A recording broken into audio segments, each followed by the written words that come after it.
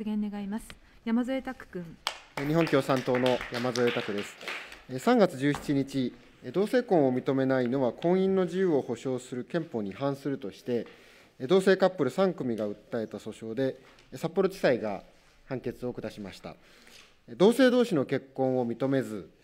その法的効果を受けられないのは、憲法14条が保障する法の下の平等に反し、違憲だとしたものです。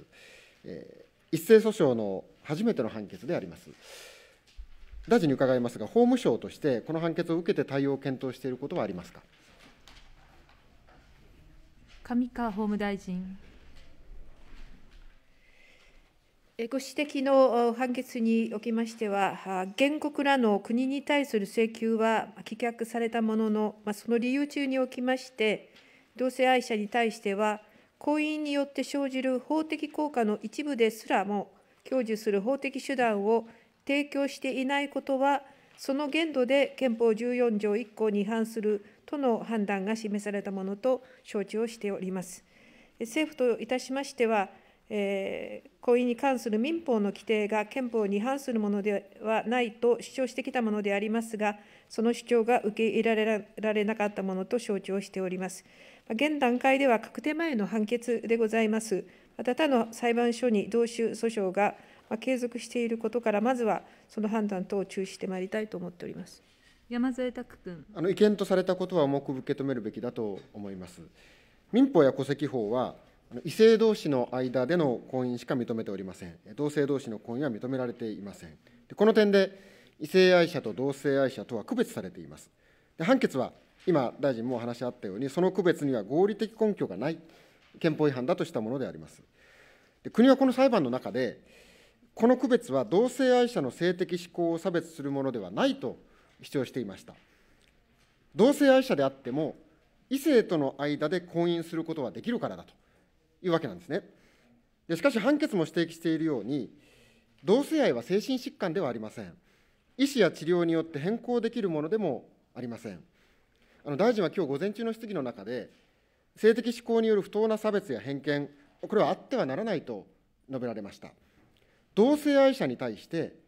結婚したいなら異性とせよと、こういう主張をすること自体、差別的なんじゃないでしょうか。小出民事局長。あの国が行いました主張について事実関係をあのご説明させていただきたいと思います。あのあの憲法14条憲法14条1項に違反するか否かの判断基準におきまして、まず判例は、憲法14条1項が定める法の下の平等は、時効の性質に応じた合理的な根拠に基づくものでない限り、法的な差別的取り扱いを禁止する趣旨であると判事しております。このため、あの今回の訴訟におきましても、まず第一に、現行の民法750条が、異性愛者と同性愛者等で法的な取り扱いを区別しているか否かという点がまず問題となりまして、次に仮に法的な取り扱いを区別していると認められた場合には、その区別に合理的な理由があるか否かが問題となります。で、えー、この訴訟におきまして、被告である国は、まず第一の、えー、区別、合理的あの法的な区別をしているかどうかという点につきまして、えー、具体的、個別的な、えー、婚姻当事者の性的指向の点に、えー、その区別、えー、を設けたものではない。はい、あの異性愛者であるか同性愛者であるかを問わず、国民は婚姻制度を利用することができるのであるから、この点に法令上の区別は存在しないという主張をいたしました。でご指摘のあの裁判所が、えー、同性愛者も異性との間で婚姻することができるというようにあの整理しておりますが、国はこの通りの主張をしたことはなく、相手方である原告がその主張を基礎づける証拠として提出した文献の中に、このような記載があるということに言及したものでございます。山添拓いやそのことを国としても政府の法解釈の一部として、えー、求めてきたからこそ、このような主張整理になっているんだと思うんですね。で判決は、異性愛者と同性愛者の違いというのは、意思によって選択したり変更したりできない性的指向の際でしかないのだと、繰り返し強調しています。にもかかわらず、異性愛者は婚姻による法的利益を得ることができ、同性愛者には全くないと。病院で家族としての面会や付き添いや、あるいは手術への同意、こういったものができないなど、具体的な問題もあります。野党は2019年の6月、同性婚を法制化する法案を共同提出しています。これ、前に進めるべきだということを、きょうは改めて求めておきたいと思います。次に、離婚後の面会交流について伺います。民法766条1項は、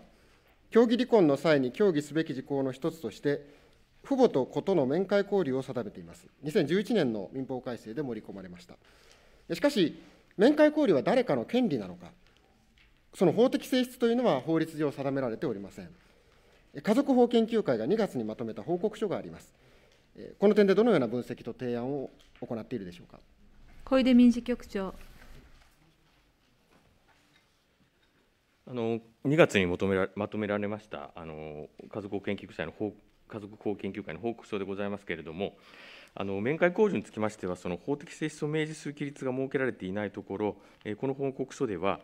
面会交流がこの利益のためのものだという認識については異論がなかったものの、それを権利義務だ権利義務としてどのように構成し、規定するかという点については、さまざまな意見が出されたと承知しております。例えば父母間の取り決めなどにより、具体的な面会交流の内容が定まった場合には、非看護親の看護親に対する一定の請求権として起立した上で、その権利はこの利益のために行使しなければならないとするような規律を設けるべきとの意見もございましたし、権利義務に関する規律を明確にすると、面会交流が認められない場合は、かなり例外的な場合に限られることとなると思われるが、それがこの利益にかなうか否かについては慎重に検討する必要があるとして、規律を設けること自体に慎重な意見などがあったと。いうことでございます。そのため、報告書では、この利益に合致する面会交流とはどのようなものかという点に立ち返って慎重に検討する必要があるとしつつ、面会交流の法的性質を明示する規律を設けることの討否や、起立する場合には誰の、誰に対する権利、または義務として整理するかなどについて、さらに検討を進めることが提案されているものと承知しております山添拓君。さまざま意見が出されているわけですが、まあ、少なくともその誰かによる一方的な権利ではなく、まあ、この利益のために、この意見や希望も踏まえつつ、父母の合意のもとにあの本来行われるべきものだということはあのえ、多くの共通の認識なのではないかと思います。で私は先日、全国婦人相談員連絡協議会の皆さんから要望をいただきました。法制審で実態に即した議論を求めるために、全国の会員に緊急アンケートを行われた結果をまとめています。例えば、面会交流の中で、学校や住所を聞き出そうとする DV 加害者がいる。プレゼントの中に、盗聴器や GPS を仕込んで追跡されたケースがある。面会交流を断ることで、養育費の減額や未払いなどにならないか、母は心配しているなど、実態はさまざまでありました。面会交流中に、非看護親が4歳の娘を殺害した兵庫県伊丹市の事件、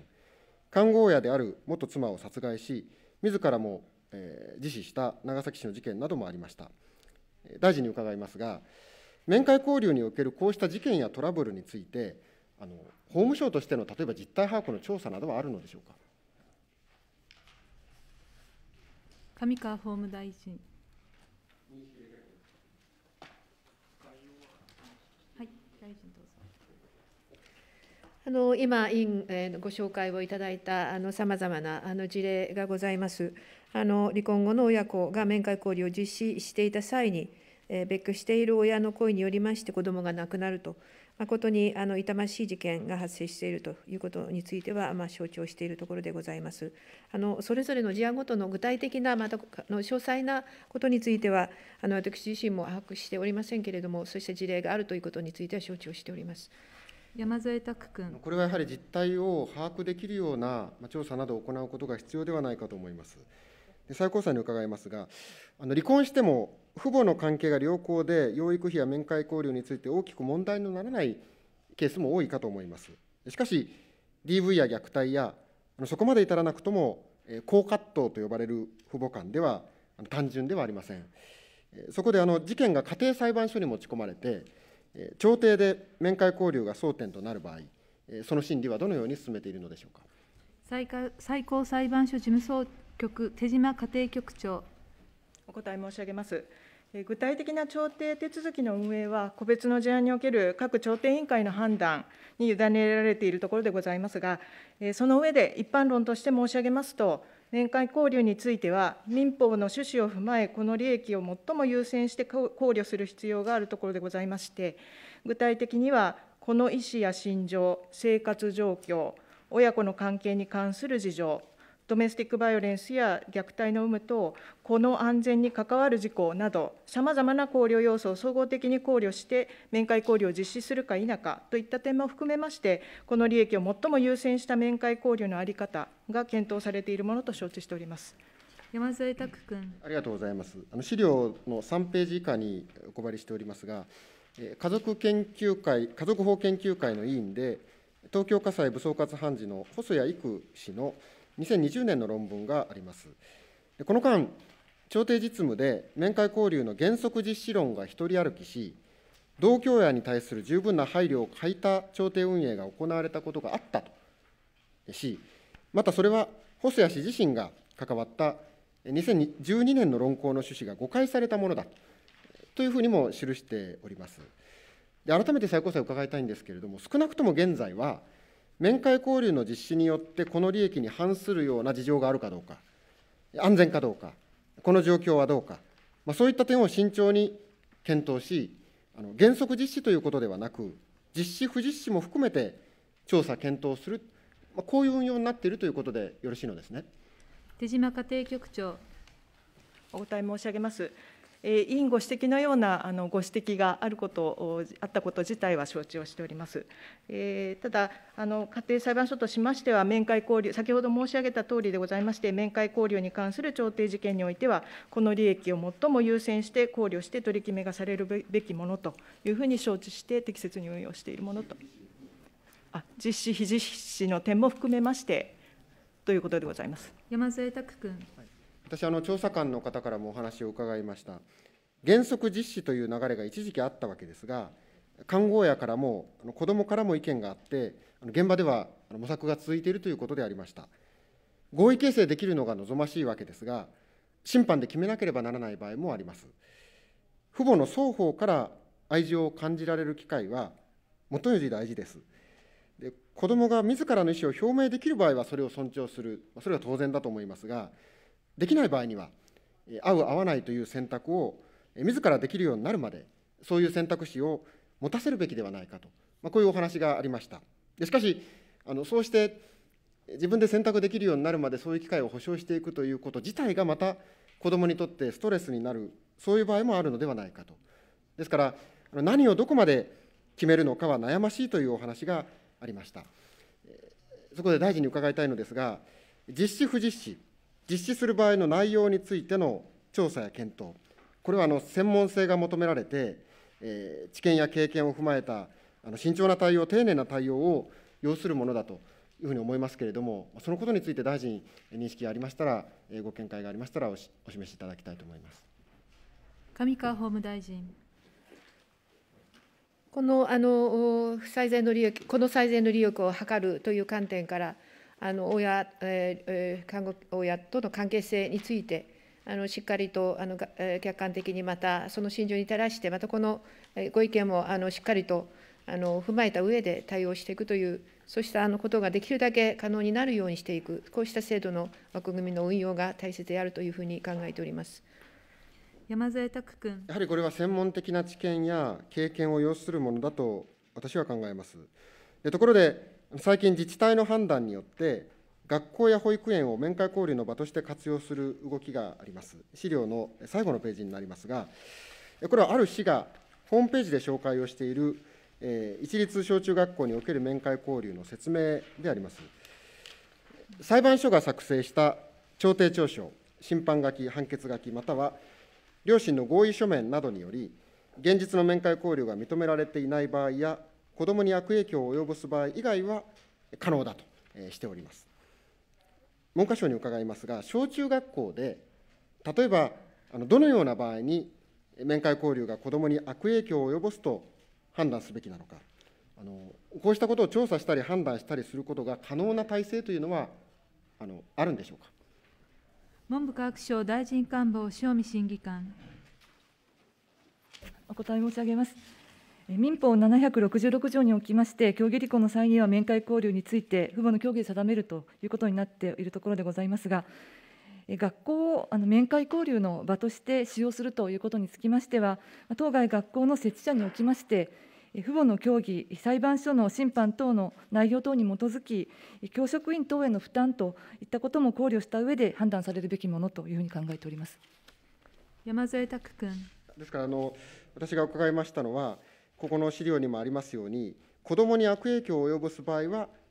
えー、認めないという運用を例えばしている市があります。しかし、その子どもに悪影響を及ぼすかどうかというのを、今おっしゃったような教職員の、えー、一人一人がですね、できるような体制、あるいはそのための、こういう場合にはこういう判断をしましょう、調査をしましょう、そういう例えばガイドラインのようなですね、政府として、文科省として示しているものというのはあるんでしょうか？塩見審議官。お答え申し上げます。あの今ご質問いただいた点について、文科省として何らかのガイドラインを示しているということはございませんが、あの一般的な考え方につきましては、先ほど申し上げましたように、学校施設をあの場として使うということになる場合につきましては、その設置者において、先ほど申し上げましたような、父母の協議、裁判所の審判等の内容に基づいて、また教職員等への負担も考慮した上で判断いただくということになると考えております山添拓君。政府からのガイドラインはないということでありました。仮に協議離婚や調停の時点で面会交流の合意ができたとしても、その後の父母間、親子間の関係の変化によって、調停通り行えない場合も生じうると思います。で特に高葛藤の父母間では見極めは難しく、また流動的でもあります。で本来、専門的なサポート体制が求められるはずです。で付き添いの支援だとか、受け渡しの支援、まあ、開始時、終了時の送迎ですね、あるいは連絡調整、間接交流、これは手紙やプレゼント送付の中継などですが、あの父母のみでは円滑な面会交流を行えない場合に、サポートする NPO も存在しております。しかし、利用者から料金を得て、この支援を行うというのは、あの例えば利用料金を払っている非同居親は、顧客ということになります。支援はサービスだと。そこでその要望は受け入れて、聞き入れて当たり前、そういう状況にもなりかねず、これは現場で取り組んでいる皆さんにとっても非常に悩ましいというお話がありました。厚労省は、こうした支援団体に対して、どのような財政的支援を行っているのでしょうか。厚生労働省子ども家庭局、岸本審議官。お答えいたします。面会交流は子どもの健やかな成長のために非常に大切なことであり、子どもの立場から実施される必要があるものだと考えております。このため、厚労省におきましては、面会交流に関する意義や課題等を双方の親を含む関係者が認識した上で、取り決めや実施が適切に行われるよう、面会交流の実施に関する相談を担う専門の相談員の配置や、面会交流の取り決めがある方を対象とした日程調整や付き添いなどの支援といったことを行う自治体の取り組みに対する支援を行っているところでございます。また、あの令和元年度から、離婚前後の父母等に対しまして、離婚が子どもに与える影響や、養育費、面会交流の取り決めの重要性に関する親支援講座の開催に要する経費についても、モデル事業による支援をしているところでございます。こういった事業につきましては、民間団体等への委託を可能としているほか、令和3年度予算案におきましては、離婚前、前後親支援モデル事業につきまして、一自治体当たりの補助単価を約170万円から1500万円に拡充をしているところでございまして、こういった活用を通じまして、引き続き自治体を支援してまいりたいと考えております山添拓君、はい、ありがとうございます。あの面会交流は合意に至るのも大変ですが、その後の公的な支援がない、あの財政的な支援はいろいろありますけれども、現実に行っているのは民間の団体が非常に多いと。そのことが当事者双方にとってあの大きな負担ともなっています。で実施に支障が生じた場合の適時適切な相談、協議のやり直しなどの支援体制、これはさらに拡充していくことが必要だと考えますけれども、大臣の認識を伺います。上川法務大臣。どうぞ。子どもの利益の観点からは、父母の離婚後も養育費の支払い、面会交流の実施等を通じまして、父母の双方が適切な形でこの養育に関わるということについては、非常に重要と考えております。もっとも民間交流につきまして、取り決めがされても、安全安心な実施が困難な場合があると、そして適切な支援がなければ実施が難しい事例もあるというご指摘もございます。あのかえー法務省の担当者も参加しておりました家族法研究会におきましても、安全安心な面会交流の実施のため、今、委員ご指摘の公的支援を行うことについて、さらなる検討の必要性や、また民間の民え面会交流支援機関の制度化に関しましての検討の必要性などにつきまして、指摘もなされているところでございます。まあ、こうこうしたあのことも受けまして、えー制度のあ部分と、またそれにえーそれをあ実現していくための環境整備ということについても、合わせてえー対応していく必要性があるというふうに考えております。山添拓時間君。が参りましたので終わりますが、あの家族法研究会の報告書では、親権の法的位置づけそのものの見直しも提案されています。で同時にその議論のいかんにかかわらず、個々の面会交流の実施の可否、頻度や内容、それは直ちに定まるものではありません。あのこの利益の優先を実行あるものとするためには、あの調査官やその後の支援体制の拡充が不可欠だということをあの改めて申し上げまして、えー質問を終わります。ありがとうございました。時間が参っておりますので、簡潔に。申し訳ませんあの先ほどの答弁、ちょっと修正させていただければと思います。あのお尋ねいただきましたあの同性婚との関係、憲法14条との関係で、あの私はあの現行の民法750条が、えー14条との関係で、えー問題になるというようなことを申し上げました。これはあのえ条文間違っておりまして、申し訳ございません。あの同性間の婚姻を認めない現行民法等の規定がということで、すみません、そういう趣旨でご理解いただければと思います。申し訳ございません。以上で。はい。